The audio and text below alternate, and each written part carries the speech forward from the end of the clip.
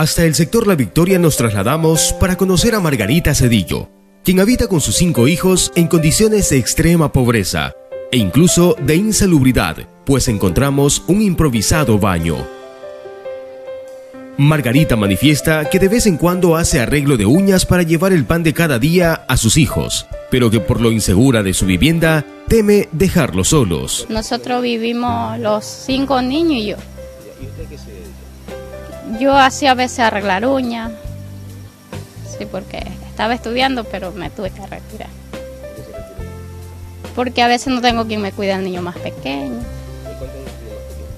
Tiene dos añitos. Yo de aquí no me puedo mover porque no puedo dejar mis cosas, que, que alguien se vaya a meter. Las niñas más que todo no las puedo dejar solas.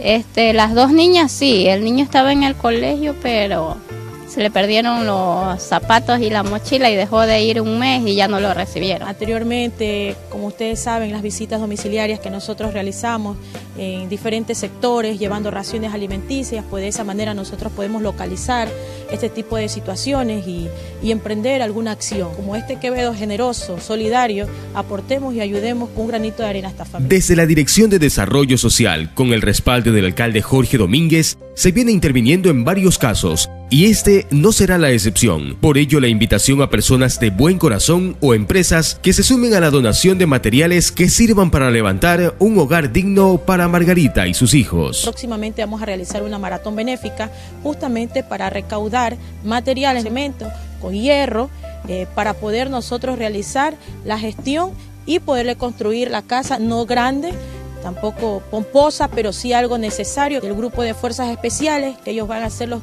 los, los que van a dar la mano de obra para la construcción. Mm, Bueno, yo me siento muy agradecida porque me ayuden con mi casa para mis hijos, más que todo para ellos, que están pequeños.